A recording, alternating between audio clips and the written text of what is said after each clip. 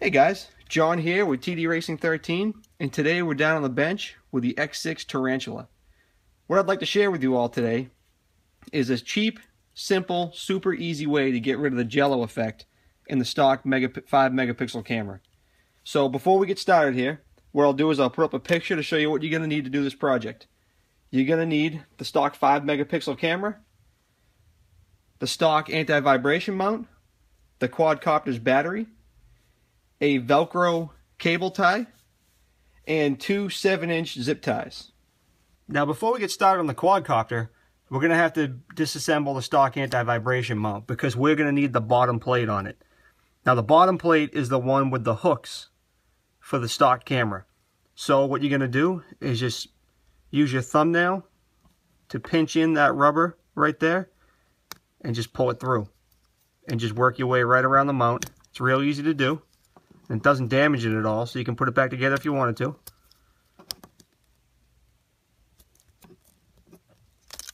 There we go. And we're not going to need this part. Like I said, all we're going to need is the bottom section. So now the bottom's off, we'll go ahead and move over to the quadcopter. So now that you have everything you need, we'll start by prepping the quadcopter. So you're going to take the quadcopter, pull the battery bay completely off of it. You're not going to need the battery bay anymore.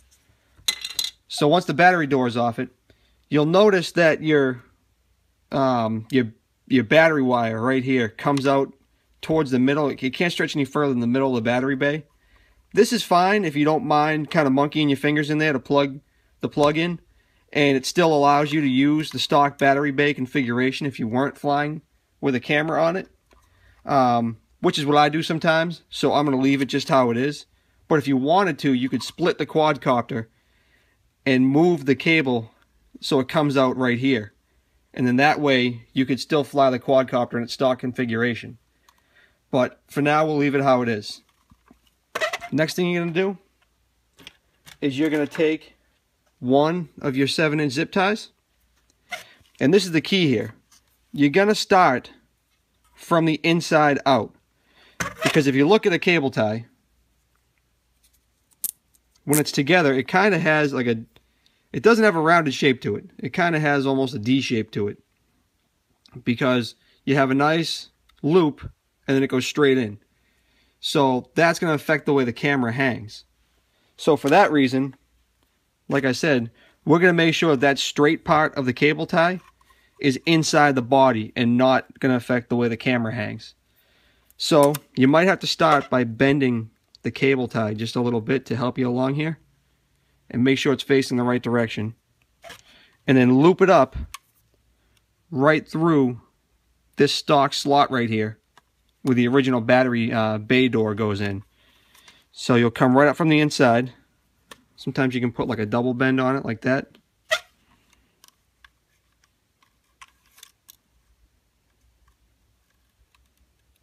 And carefully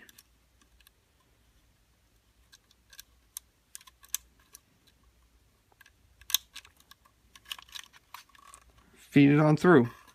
Once it gets started through, sorry for my hands being in the way, then you can pull it right, right on through, just like that. And now you're going to want to do the same thing with the front one as well before we go any further. So I'll go ahead and do that right now off camera.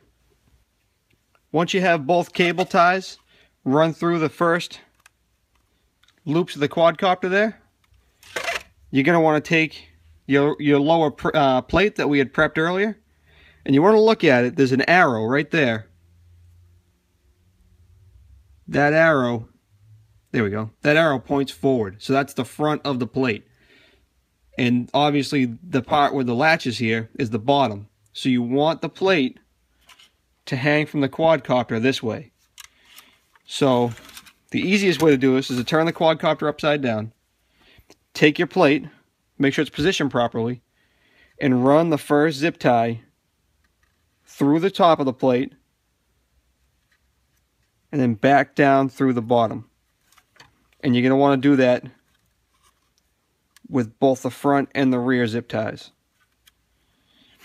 Now once you have them through the plate, you're going to want to put them back down into the body of the quadcopter through the slots on the left side of the quadcopter.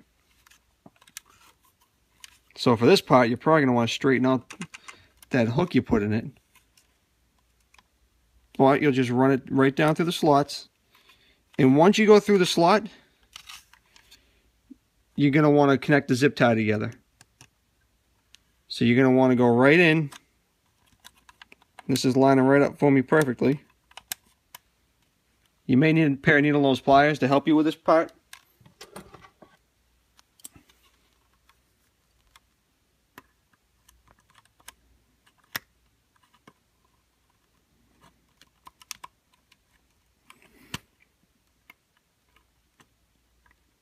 And this is probably the trickiest part of the whole build, is just getting these connected. Now once you get your zip tie connected, you're just going to want to grab it and feed it in until you hear it click a couple times. That's all you really need. You heard that? That clicked twice? We'll go three or four times. Now the rear the rear part of the zip tie hanger is done. So we'll move on to the front and we'll do the same thing. Now one quick tip here when putting this together. it's easiest I've found to use the needle nose to hold the square end of the zip tie under the slot that you're sliding through and then pushing the zip tie down through until you hear it click. That seems to be the easiest way to do this fiddly little part of the job. Once you have your zip ties in, your mount should be looking something like this. So the next thing you're going to want to do is attach the camera. The camera, in a way, holds those zip ties or, or flattens them out a little bit, if you will. So you're going to take your stock camera and just clip it onto the mount like you normally would. So now that our camera's mounted, the last thing we're going to need to do is attach the battery. And I'm just using these um, Velcro cable ties. And they have the little hole in them so you can really bind them down real nice and tight. This isn't a, uh, a necessity, but I find it nice because you can get it good and tight and not worry about the battery sliding out in flight. So what I'm going to do is start by hooking this up around the, uh, the battery mount here. So I'll just run this through here and get it kind of close to the right size of the battery first. And then once we have that like that, we'll take our battery and we're going to mount the cable to the rear of the quadcopter. So we'll go ahead and we'll slide our battery in.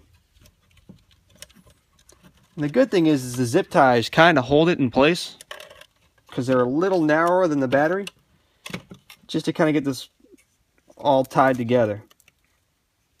You can even do this upside down if you want to once you get it started.